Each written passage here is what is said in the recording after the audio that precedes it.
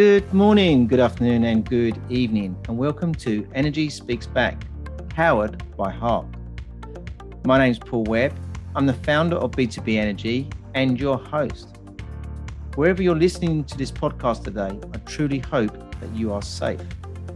We would like to thank our episode sponsor today, Ester Energy, and for the work they do regarding the certification of our training global energy experts to make them certified global energy experts.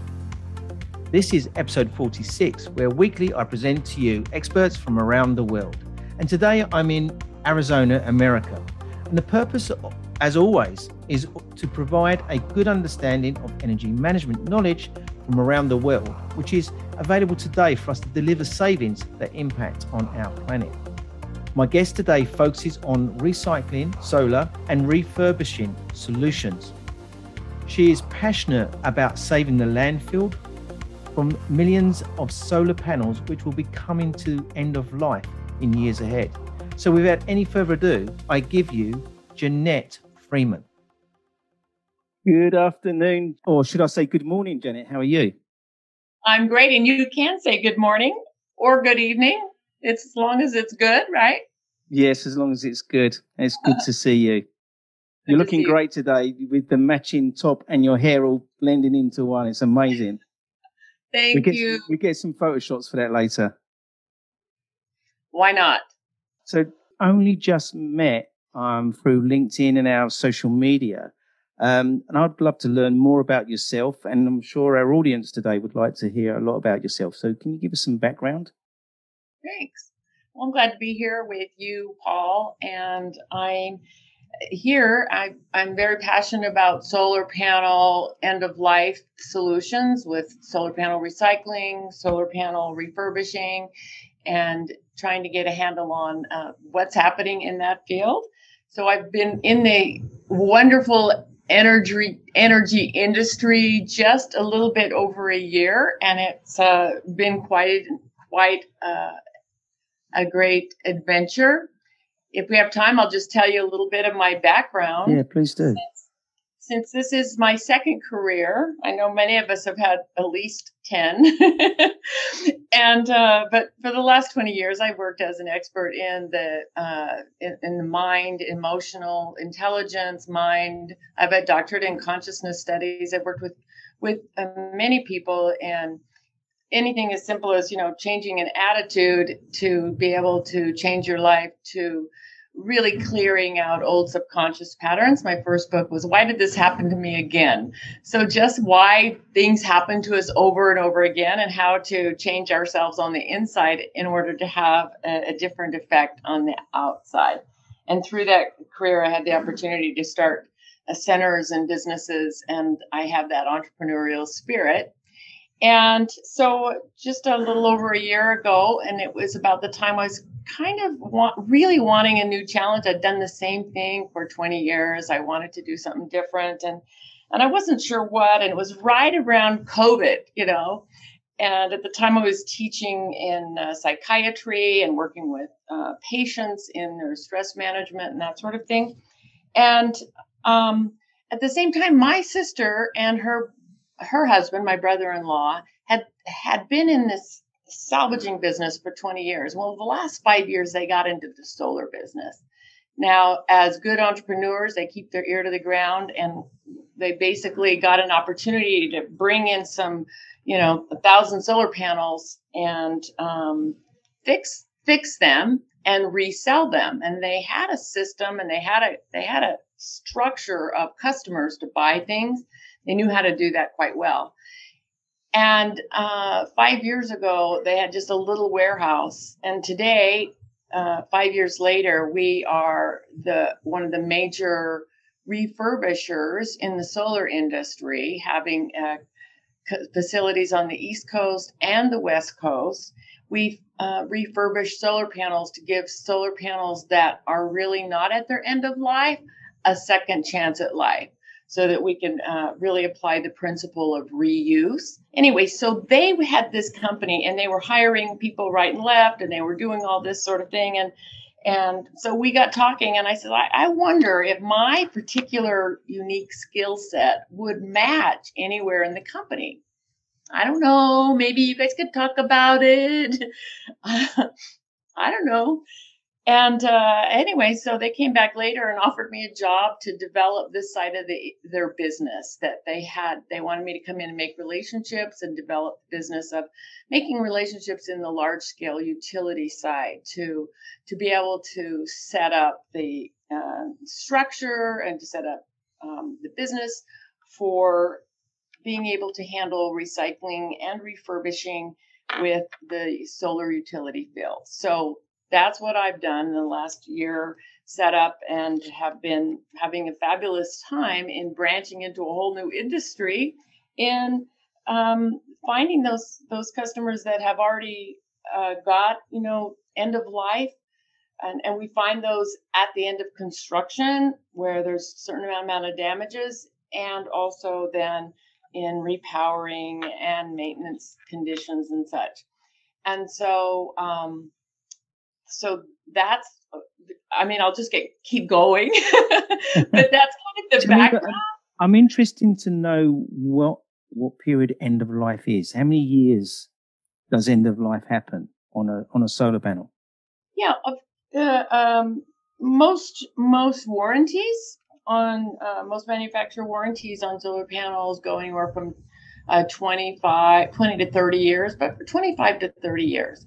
And there are there have been a lot of panels that are still going after 30 years. Yeah. They are pretty durable.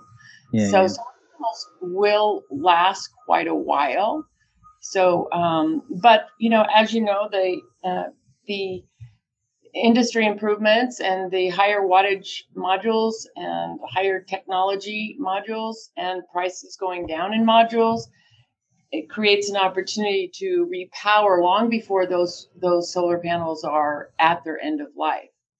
Because the the investment will bring such a better return yeah. on um, on the solar panel so it becomes beneficial to pull off those panels that maybe are 200 watt 250 watt and put on a 400 watt for the similar amount of space that is used. So so we're seeing we're starting to see a lot of solar panels coming off. Now we know with so much growth in this industry, there's a lot of solar that's that is going on, mm. and um, you know, in in ten years, there's going to be a lot of panels that are going off, and so it's kind of at that at that place right now. There's there, right now there are um, not uh, there's not a lot of policy in the United States in place to ensure and to help this industry. They say the recycling, refurbishing industry to help the um, all aspects of it to be beneficial for the customer because it's still it's still expensive to recycle solar panels. So way too many solar panels are going into the landfill. Now that may not be a huge issue right now, but it it actually speaks to and points to huge issues down the road. Exactly exactly. Yeah. Now, so, one thing, I, so I've seen recently some images of like the graveyard of solar panels and wind turbines and batteries all in sort of piled up on these sort of wastelands and things, which it does worry me. And it's one thing we didn't do back in the industrial revolution when we was building these power stations and looking at coal fired and oil fired. No one thought about the future. No one thought about well, what we're going to do with these power stations, what we're going to do with the emissions that are going to come from these. No one thought about it at that time. We was only worried about getting the power out. Well, now this is the refreshing thing. We're thinking about that now. We're thinking about the future. You know, I've been interviewing people regarding the circular economy, regarding you know, taking this technology and thinking about the waste of when it's going to be at its end of life. Now, I'm interested to know um, so we're going to recycle these units.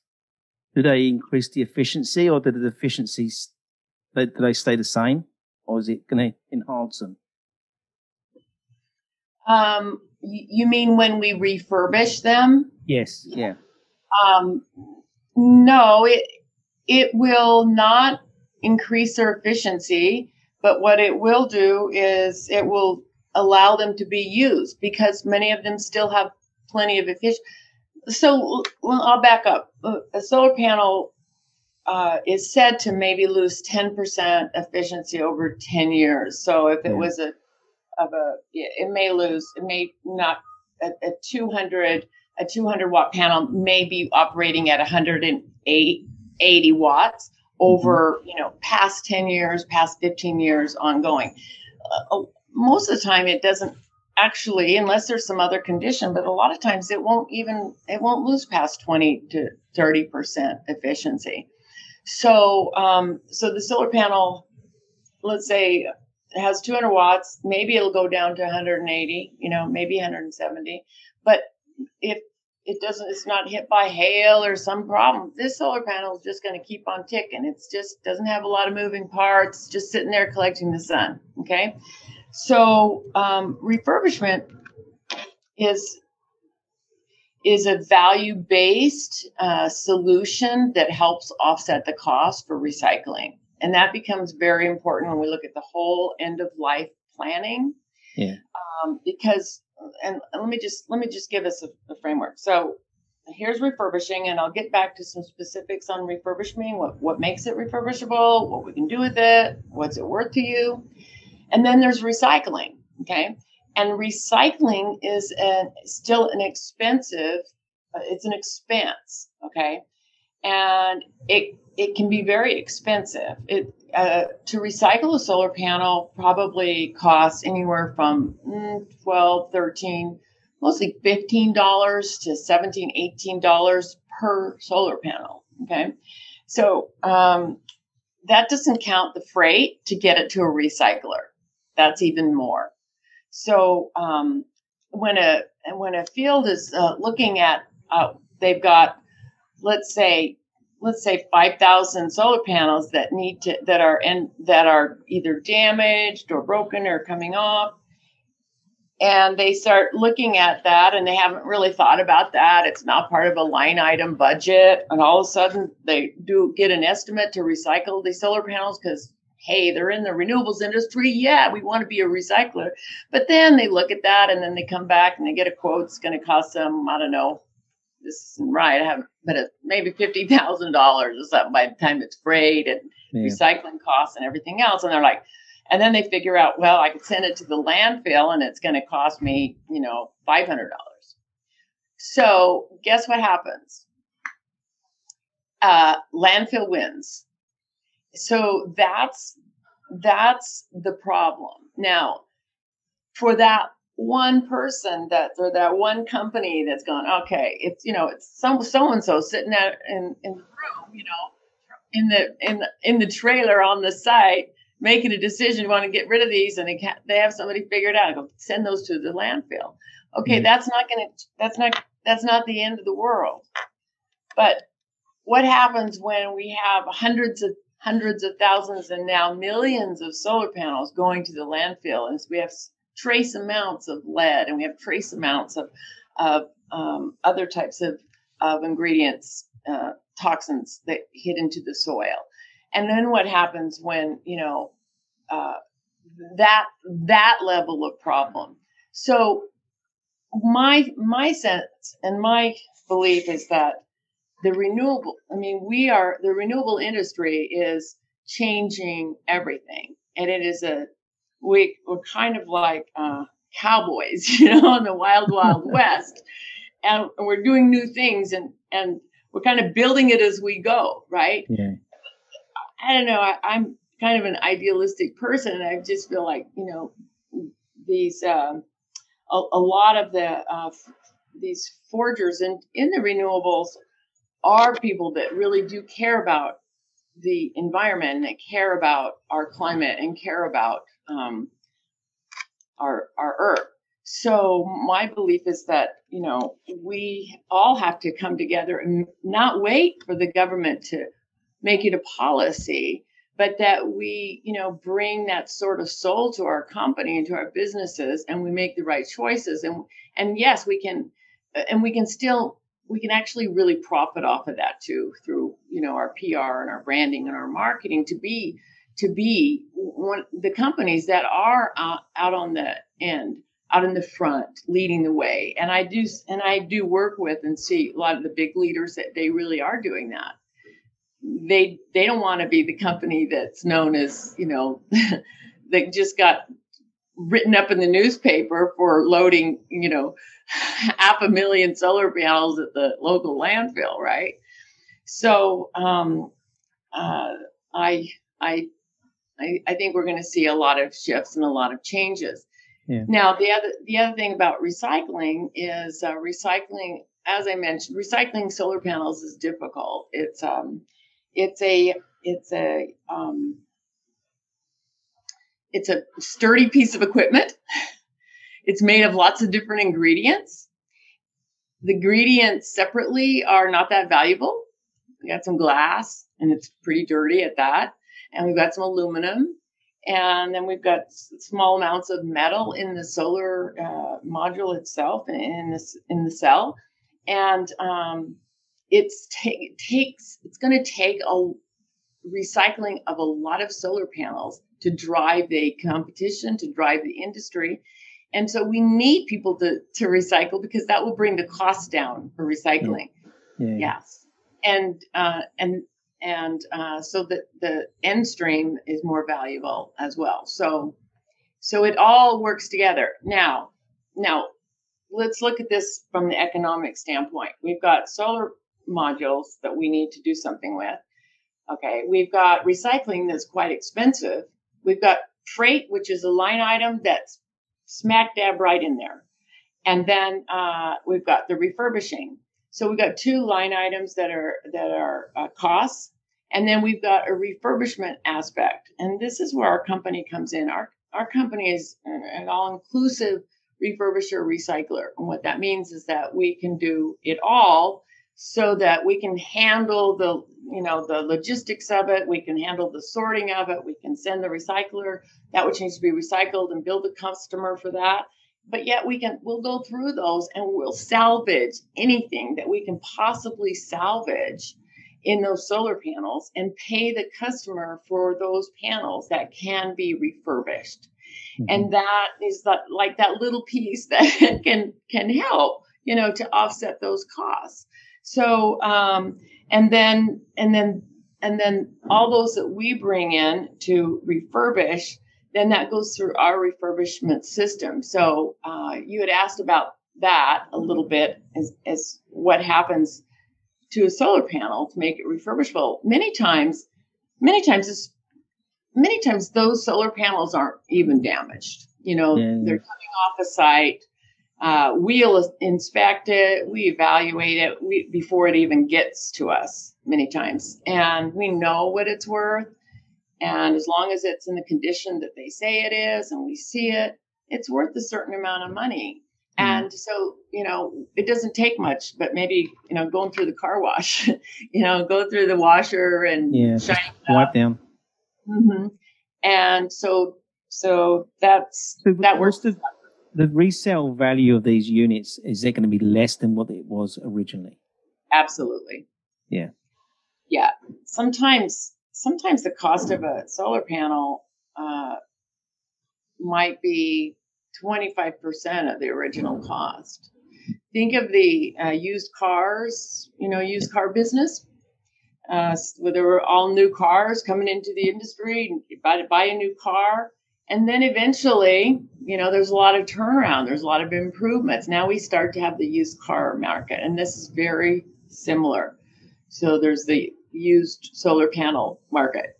Yeah and, and they're still good for people and and that's the that's the that's the other beautiful downstream advantage of this is helping people uh, be able to take advantage of solar that normally couldn't really afford to. Yeah. So I'm thinking developing countries where that can be exported to, and we can make energy available to people that are less fortunate um, in these developing countries. Right. That's that's what we could be looking to evolve, isn't it? Yes, and that happens. That's happening all the time, and it's um, there's hundreds of thousands of solar panels that are going into the international marketplace and into the third world countries. And um, that is happening. And, and we're even seeing we've donated to some nonprofits that take in the wow. solar panels to help put into villages to help give them power. And uh, it's quite an ordeal for uh, for these companies to do that. It it doesn't happen. It's, it's a lot of logistics. It's a lot of logistics, and it's an it's a heavy thing, a solar panel.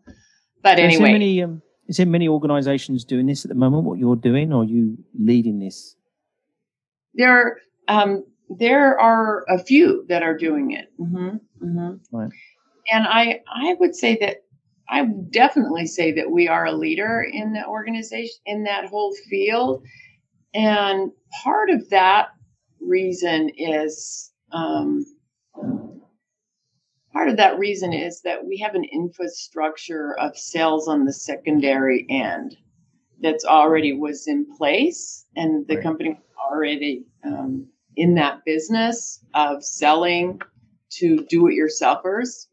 And so we sell a lot of um, we sell a lot of onesie twosie. We sell a lot of five panels here and you know three panels there, and we sell a lot of uh, uh, um, to individual people. And yeah. then we also sell you know bulk and to international markets and uh, larger to small scale to smaller installers. And so, and we sell used solar. And now we're, you know, we've now we're selling new solar uh, as well, you know, when we can get a hold of some good pricing because we sell direct to yeah. the customer at really good low prices. So all of our, you know, we have to buy low, but. Uh, and when we're talking about the solar that you're taking in, is that from commercial buildings, from ground areas, or from residential? Not residential yet. Residential isn't quite organized uh, well enough yet. You know, it's probably not um, old enough, is it? In the residential world, we've probably got another five, ten years more before we start seeing that impacting on, on in that environment. Do you reckon? Yes, and and it it definitely needs to have some infrastructure in. That's a that's a difficulty with one onesie twosie. I mean, I talk. Yeah. I call me that are residential they're selling their house for some reason. They need to get rid of these solar panels, and you know it's it's really tough. You know they've got to find a way to get them off the roof. Then they've got to ship them. Then they got to pay for recycling, or I'll take them if I can, you know, salvage them. But then they got to ship them, and it's just so that's a whole new logistical kind of a thing that I have some ideas about. But but I'm sure lots of people have some ideas about that. But maybe that is on the that has to be on the roadmap, but it not at the moment yeah, it has to be on the roadmap.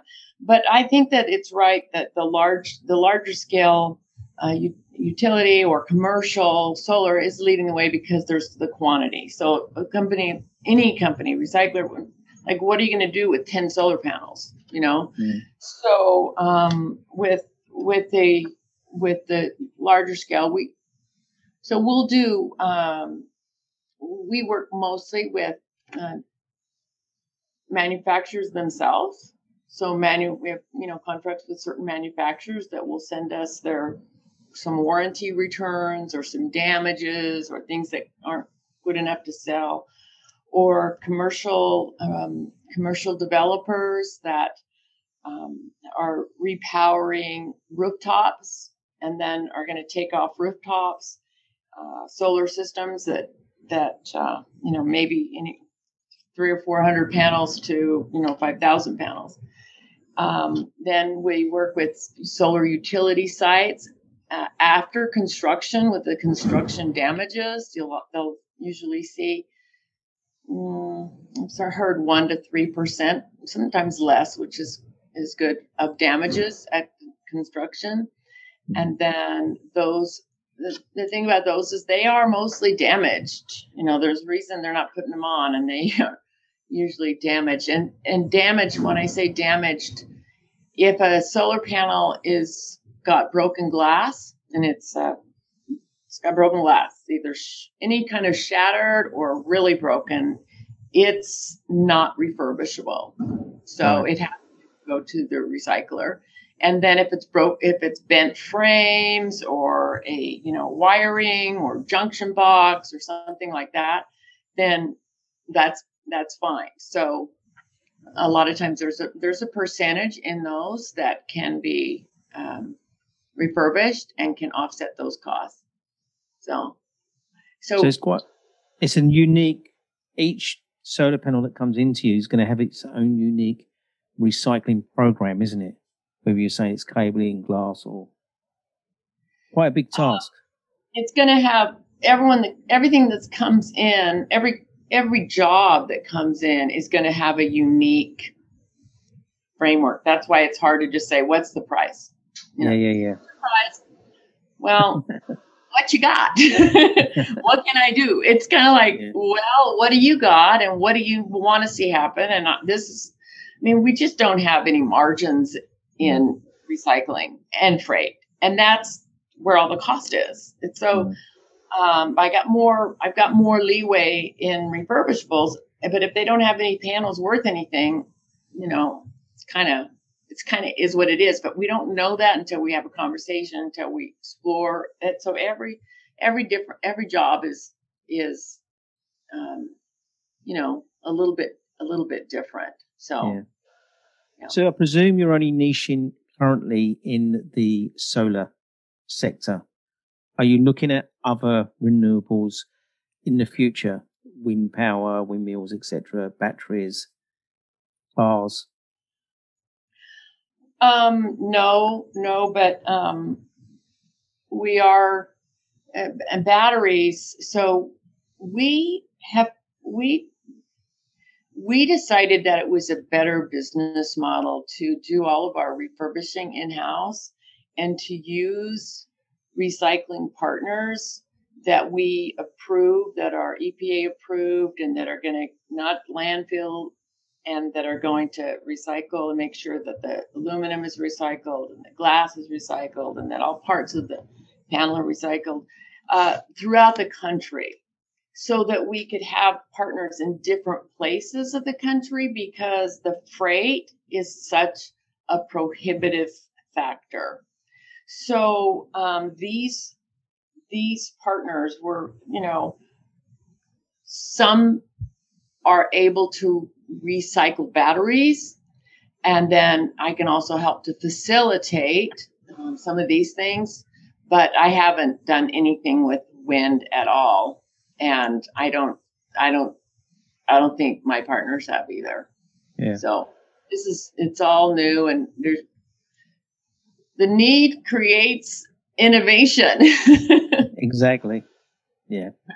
Yeah. That could evolve, couldn't it? Could quite easily evolve. And so the businesses could evolve around that when there is that need for that work to be done. And right. there might be a partnership set up or you may decide to take that on yourself. You don't know. Well, and you know, I mean, that's the that's the part for me that is exciting about this industry is um, is that we're building something for the future. We're not we're we're moving forward based upon what some challenges that we see in the future and some goals that we see in the future. And it's kind of like, you know, that uh, you may have heard that expression. Um,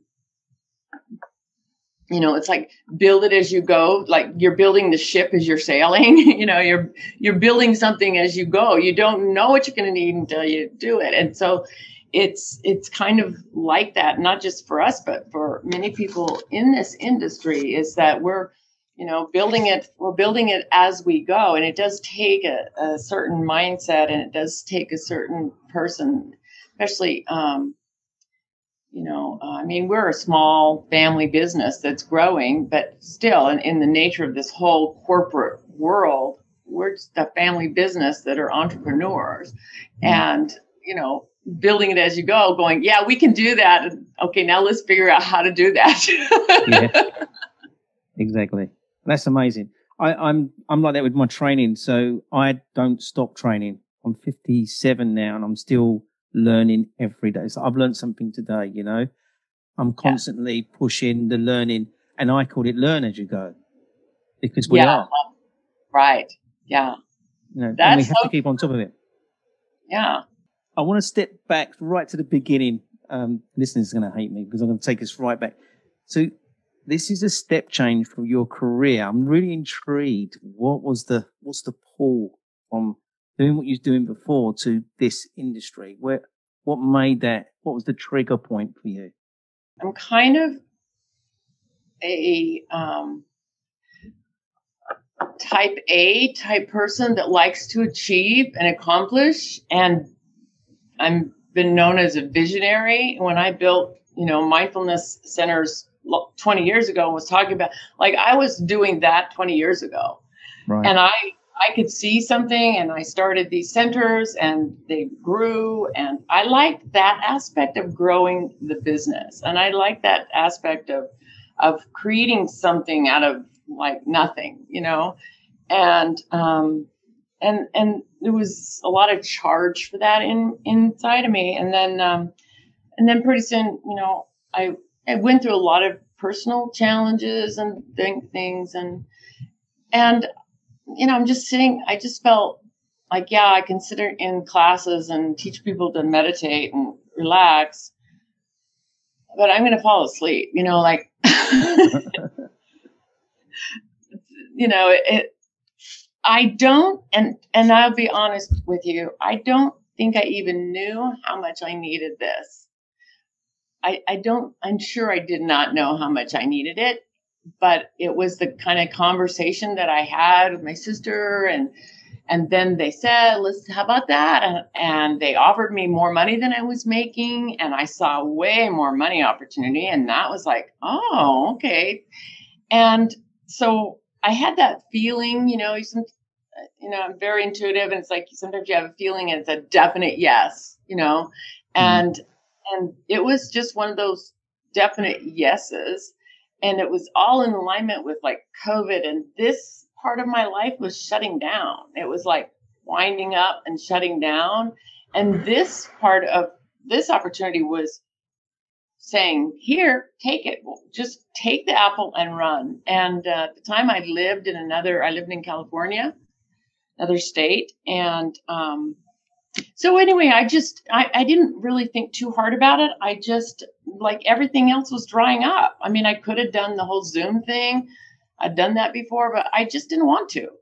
That's all. And so mm. I I just said yes and I and I came over here and I within a month or two I just decided to move because you know they said you could work remotely, but I'm like, why do I want to work remotely? I don't even know the industry. I want to be around solar panels. I want to learn by being in in the in the atmosphere of it. And so I just moved. And um, I didn't know anything, but you know what? It's um, you bring who you are to everything you do.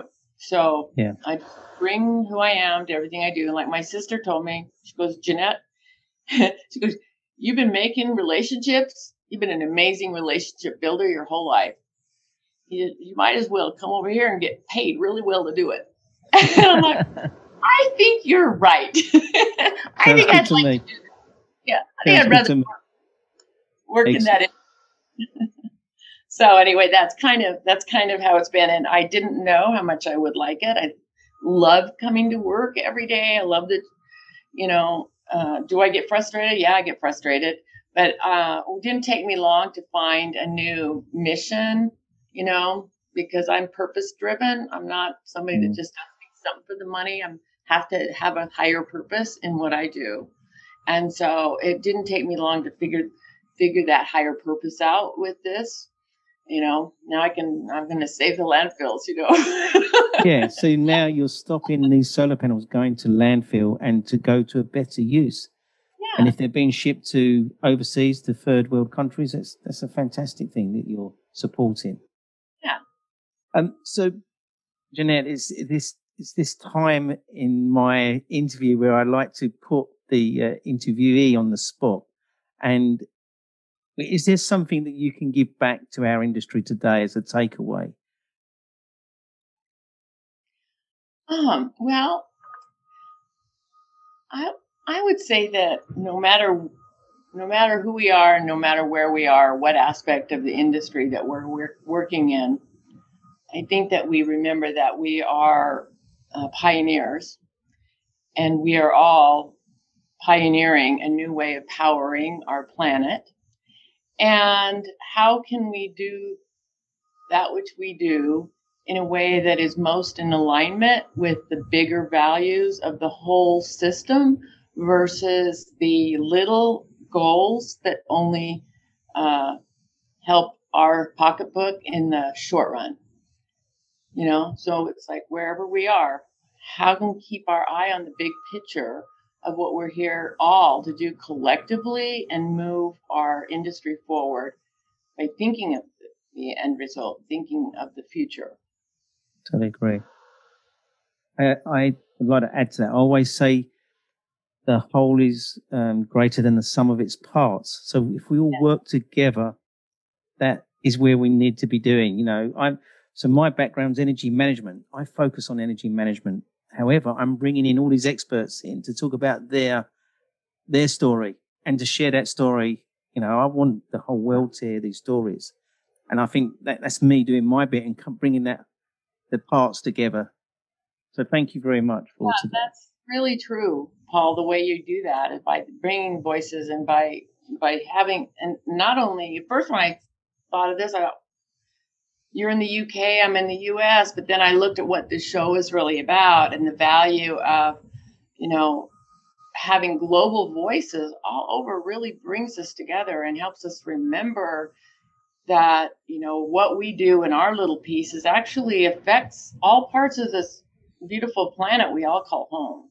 Yeah. We, there's another there's another saying we all speak different languages, but we all speak the same language of reducing emissions and saving our planet.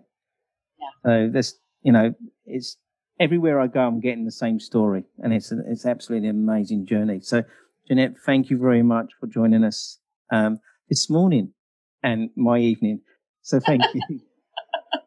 and uh, I'll let you go to your day, and I'm going to start finishing my day. So thank you very much. All right, Paul. You and your family. You so brilliant. You and your family, please be safe in these times. Thank you. Thank you for our special guest today, and thank you for our sponsors, B2B Energy, which can be found on at b2benergy.co.uk, and Clean Energy Revolution, which can also be found either through various different social media networks. Type in hashtag clean energy revolution. That leaves me with one more thing to say be safe.